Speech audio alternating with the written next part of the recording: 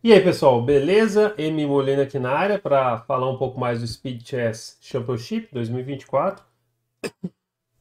E como eu falei sobre o último vídeo sobre o Speed Chess, vamos lá, né?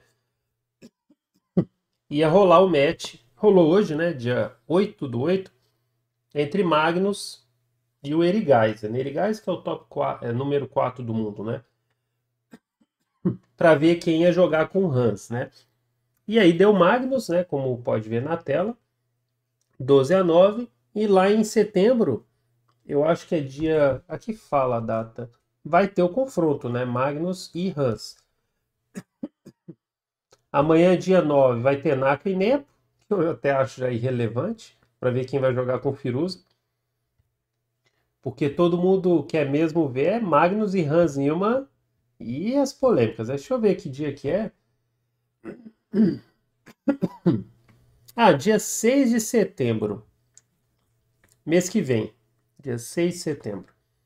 Aí deve, vai ter, vão ter as duas semifinais, né? E eu não sei, eu só ainda para mim não ficou claro e eu esqueci de checar essa informação. É se isso vai ser ao vivo, né? Naquele esquema um computador diferente. Eu acho que vai ser assim. É, porque tá falando ao vivo em Paris, né? Então não faria sentido, né? Assim, é forçado isso, né? Um ficar de frente por outro vai ser interessante. É, mas agora vamos ver o que, que aconteceu nesse match, né? É, só esse layout aqui do, do negócio aqui que tá meio zoado. Tá uma bagunça aqui. Deixa eu. Pera aí colocar aqui. Nossa, aqui, esse negócio fica meio bagunçado aqui. Pronto. Carlsen ganhou de 12 a 9. Vamos ver aqui algumas para a gente ver como é que foram as construções de vitórias. Teve umas muito boas, viu, por sinal. Bem no estilo Carlsen. Essa primeira, por exemplo, ele jogou uma linha interessante na... Assim, não o Dama E2. O Dama E2 contra Petrov é meio fuleiro. Mas o G3 e Bispo G2 foi interessante. E aí vai rolar uma sequência muito curiosa. Gostei aqui do, eu acho, né? Foi improviso, né? Do Eri Geiser, né? Mandou esse lance, exclama, né? Pre, é, pressiona aqui. Aí é forçado entrar nessa sequência. É, Provavelmente aqui o Calcio tem que encontrar uma resposta agora. O computador sugere rock. Ele fala que rock, porque agora esse cavalo D4 eu acho que dama D3, né? Vai trocar tudo em F3, né? E depois pode contra-atacar na coluna E. Então D3 que foi o, uma imprecisão, né? Mas essa partida ele vai Assim, o Erigais igualou aqui, né? Isso aí tá muito claro. Mas o Carlsen vai usar toda aquela força dele Jedi, né? A posição tá igualadaça, né? Aí aqui ele tá tentando colocar um cavalão em D5, uma sentinela, né?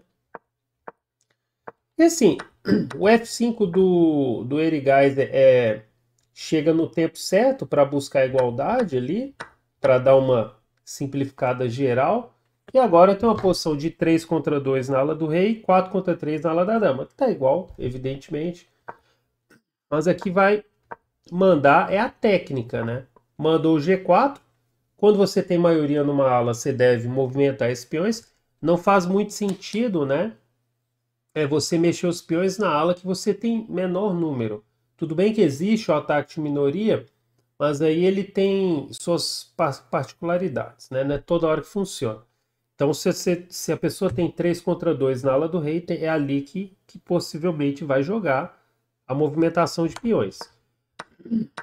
Aí vai chegar nessa posição. Aqui o Erigais está tentando movimentar ali o 4 contra 3. E após algumas trocas, chega nesse cenário onde o Carlsen, o Carlsen não, o Erigais, é, acho que ele poderia ter jogado esse, né? Vamos supor esse, esse, esse. Eu fiquei pensando nisso, só que talvez essa posição o branco vai criar um peão passado em F muito rápido, que pode ser perigoso, com a ajuda do rei, né? Eu pensei que talvez jogasse assim, né? Mas enfim, curioso, como que o Carlsen, ele vê um, uns cenários aí, parece que não tem nada, né? Mas beleza, aí agora tentou dar uma bloqueada, aqui a posição voltou a igualar de novo. Eles já estão aqui no bulletzão, né? E o Erigaiser deu essa interrogada aqui feia, né? O, o Carlsen poderia simplesmente ter tomado em G5 também, não seria uma ideia. Mas o B4 é mais forte para quebrar esses, essa harmonia ali. Aí jogou esse. F5 era matador de acordo com a máquina, né? Deixa eu até ver uma coisa. F5, por exemplo, cheque. Ah, vai cair G5, né? Tira o rei, né? E esse peão cai, não, não dá para defender porque leva a torre E6, né? Então o Carlsen jogou esse, aí aqui entrou naquele bulletzão, né? Terra de ninguém. Aí tinha que jogar bispo D4, né? O, é, faz muito mais sentido, por sinal, né? O bispo fica melhor nessa diagonal, né? Nessas, nessas duas diagonais, né? Esse F8 é muito passivo, né? Aí, ó. Agora o peão lá disparou e aí levou esse deflection, né? Porque, por exemplo, se tirar a torre para G8, leva esse, cai a peça. Se tomar, damita, né? Então é uma vitória bem, bem tranquila aí. É, é, assim, o final, né? O final ali depois do G5, né? Tava igual a maior parte, né? Vamos ver, na terceira que o Erigaiser já deu troco. Vamos ver do ponto de vista do Erigaiser.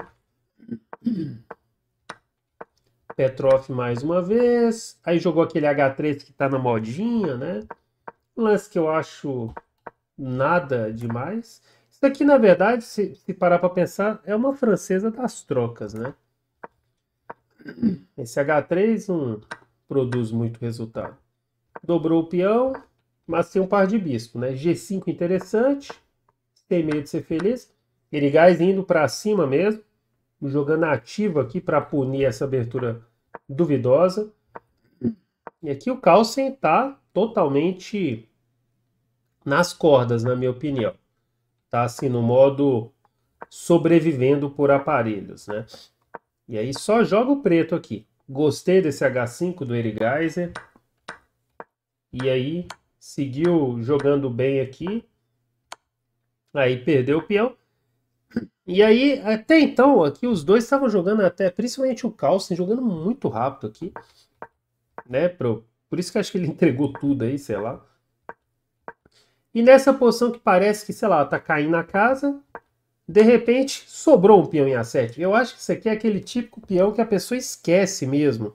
E é com cheque, né? Não sei também se simplesmente ele falou, ah, tem que jogar F5, né? Sei lá. E aí agora vai entrar no modo. O Carlsen tá perdido aqui, tá assim, tá muito inferior. Mas agora vai entrar naquele modo bullet, né? Agora a coisa vai ficar um pouco, um pouco mais acelerada. O Carlsen está tentando complicar. Esse cavalo tá horroroso, né? E nunca consegue dar o duplo porque tem um cheque, né? Seja aqui ou aqui, né? Aliás, se jogar cavalo G6, eu acho que eu dou cheque aqui, né? Aqui. E se torre F1, torre H1 deve ganhar fácil, né? Aí depois toma em F1, toma em G2 com cheque, né? Não, ou simplesmente dama... Ah, tem que ter cuidado com os duplos ali. Mas enfim. É, ele deu dama D4. Eu acho que dama 1. É, o computador gosta do dama D4. Eu ia corrigir, mas tá correto.